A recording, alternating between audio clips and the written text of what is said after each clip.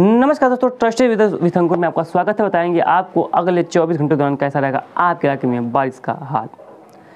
दोस्तों, सबसे पहले जो आज की गतिविधियों की बात किया जाए तो आज कई इलाकों में काफ़ी अच्छी बारिश हो सकती है। उसमें हम इंक्लूड करेंगे। सबसे पहली बात करते हैं जम्मू से लेकर के कश्मीर तक। तो जम्मू, कश्मीर, गिलगित से लेकर के बाल्तिस्तान और लद्दाख के कई इलाकों में हल्की से मध्यम आज बरसात देखने को मिलेगी। हालाँकि आज यानी कि मान के चलिए बारह जून को यहाँ पर भारी बारिश की संभावना फ़िलहाल नहीं है। मौसम लगभग हल्का फुल्का बादल या हल्के फुल्के बारिश की बनी रहेगी। उत्तराखंड और हिमाचल प्रदेश के क्षेत्रों की बात की जाए, तीन क्षेत्रों में भी आज बारिश गतिविधियाँ इसी तरह की रह सकती हैं। कहीं पर हल्की तो कहीं पर मध्यम दर्जे की बौछार देखने को मिल सकती है। लेकिन भारी बारिश, नो। इनकी भारी बारिश हम उम्मीद यहाँ पर बिल्कुल नहीं कर रहे हैं, जिससे कि यहाँ पर लोगों को परेशानियों का सामना भी करना बिल्कुल नहीं पड़ेगा। तो यहाँ पर लोग सावधान सतर्क रहें, जिससे किसी प्रकार का नुकसान देखने को ना मिले, क्योंकि यहाँ पर जब बारिश होगी साथ साथ हो सकता है कि कहीं कहीं पर ओला वृष्टि भी हो सकता है, यानी कि ओला ओला भी गिर सकता है तो उसकी भी प्रोबेबिलिटी यहाँ पर काफ़ी ज़्यादा प्रबल नज़र आ रही है। तो बात करते हैं यहाँ की राजस्थान की। तो राजस्थान के कई इलाकों में आज बारिश हुई है, कुछ इलाकों में इंटेंस स्पेल भी हुआ है और कई इलाकों में भारी बारिश भी देखने को मिली है। और आने वाले समय में यानी कि आज के दौरान आज जो बारिश हुई है तो वो तो हुई है और आज भी कई इलाकों में शाम तक बारिश गतिविधियाँ बढ़ सकती हैं। कुछ इलाकों में काफ़ी अच्छी बरसात भी देखने को मिल सकती है।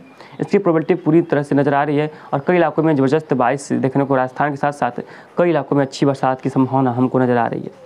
पंजाब, हरियाणा, दिल्ली, पश्चिमी उत्तर प्रदेश के क्षेत्रों की बात किया जाए तो आज कहीं कहीं पर हल्की से मध्यम, एक दो स्थानों पर हल्के वर्षा या कहीं कहीं पर मध्यम खंड वर्षा की संभावित रहेगी। लेकिन ले, बहुत ज़्यादा इंटेंस स्पेल या बहुत ज़्यादा बारिश की संभावना यहाँ पर फ़िलहाल अभी नज़र तो नहीं आ रही है। जब ऐसा होगा तो हम आपको लगता है अपडेट करते रहेंगे। बाकी पूर्वी उत्तर प्रदेश के क्षेत्रों में आज जो तराई का बेल्ट है, यहीं पर कहीं कहीं हल्की वर्षा देखने को मिल सकती है। बाकी पूर्वी उत्तर प्रदेश के क्षेत्रों में मौसम शुष्क और साफ़ लगातार बना रहेगा। क्लियरिटी भी यहाँ पर लगातार छाई रहेगी। यानी गतिविधियाँ बाईस की बहुत ज़्यादा यहाँ पर देखने को फ़िलहाल अभी नहीं मिलने वाली हैं। लेकिन बाईस बढ़ेंगी, उसके बारे में आपको हम अपडेट करते रहेंगे कि कब बाईस बढ़ेगी। बिहार में आज हल्की से मध्यम, कहीं कहीं मध्यम से तेज बौछार देखने को मिल सकती है। पहले पश्चिम बंगाल, सिक्किम से लेकर के असम हो या मेघालय हो, साथ साथ में नागालैंड, मणिपुर, मिजोरम, त्रिपुरा हो वो पहले पश्चिम बंगाल, सिक्किम हो और अरुणाचल प्रदेश का क्षेत्र हो, इन सभी क्षेत्रों में जो गतिविधियाँ बारिश की हैं, वो लगातार भारी और लगातार अच्छी यहाँ पर बनी रहेंगी।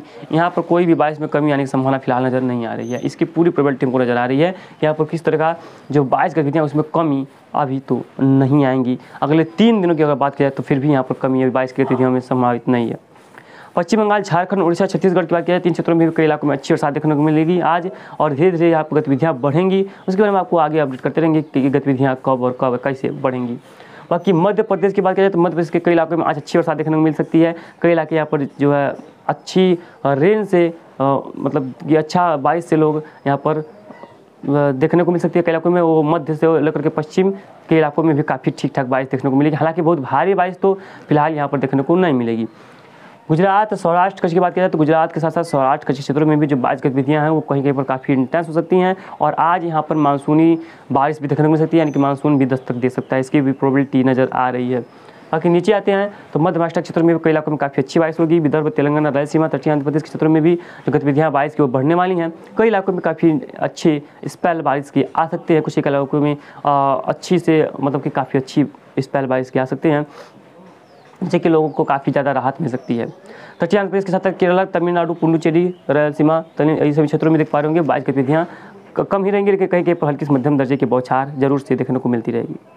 कुल मिलाकर के जो मानसून गतिविधियाँ हैं, आज मानसूनी जो आर्म है, वो पश्चिमी सिरा में और आगे बढ़ेगा और आज कुछ इलाके तमिलनाडु को भी मानसून पार कर सकता है। अभी तमिलनाडु में अटक गया है और बाकी इलाकों को भी धीरे धीरे कवर कर सकता है। इसकी प्रोबेबिलिटी बन रही है और आंध्र प्रदेश के क्षेत्रों में भी अगले दो तीन दिनों में पहुँच सकता है। इसकी उम्मीद नज़र आ रही है। तो आगे जैसा भी होगा, वैसे हम आपको लगातार अपडेट करते रहेंगे, लेकिन फ़िलहाल इस वीडियो में यहाँ तक इतना ही। जो आपको समझ नहीं आया कमेंट कर दीजिएगा, जिससे कि हम आपको लगातार जानकारी दे पाएँ। और शेयर कर दीजिएगा, जिससे कि आपको भी सभी लोगों को जानकारी इसका मिल पाए। फ़िलहाल यहाँ पर इतना ही, मिलती है इसका अगले वीडियो तक के लिए धन्यवाद।